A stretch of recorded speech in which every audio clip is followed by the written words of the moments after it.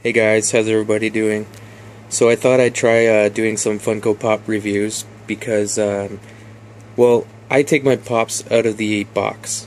A lot of people don't because apparently it doesn't retain their value. But I don't really care. I mean, these pops look so amazing. I can't just keep them in a box. So I figured I'd do some reviews and uh, let me know what you guys think. I'm going to try to keep these reviews short and quick. Um, but if you guys want more in-depth reviews, just let me know. So first up we got the Master from the Strain and this pop is amazing. Just look at it. This thing is incredible. He's got bumps on his face. He's got little flecks of paint on his head. The robe, the lines are nice and straight.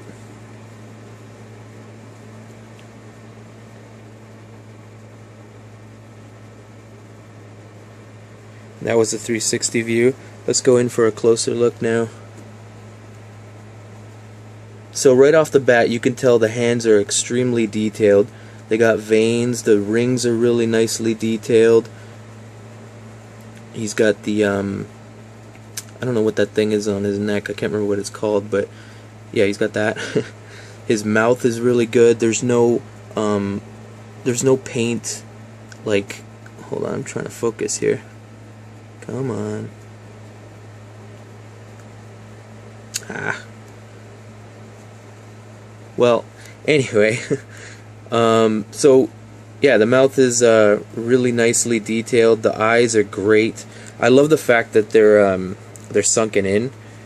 It doesn't really look like like a Funko Pop. I mean, it still looks like a Funko Pop, but it doesn't look cute. You know what I mean? It still looks pretty menacing. Honestly, in the show, I think he looks kind of dumb, but this pop looks amazing. The ears are nicely detailed on the inside. I don't know if you, my camera will pick it up, but yeah, he's got like flecks of paint in his head. It makes it look a little bit more three-dimensional. His hood's really nice. Yeah, that's pretty much it, guys.